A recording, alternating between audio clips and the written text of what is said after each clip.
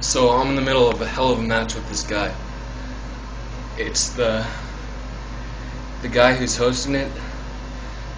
His cousin is a ringer in this ping pong match.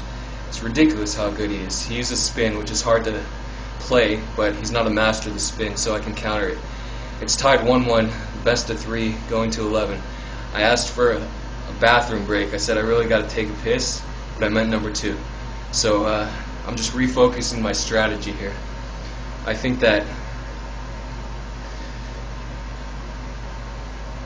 I just gotta calm my nerves. I mean, I can play nervous, just I don't play perfect when I'm nervous.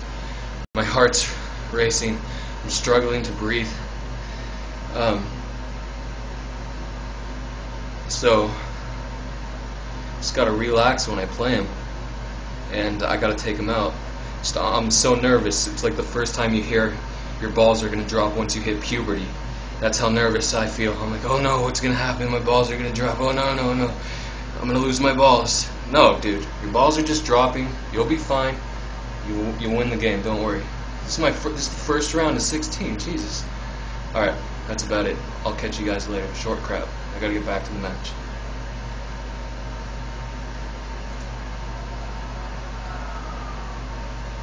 唉 呀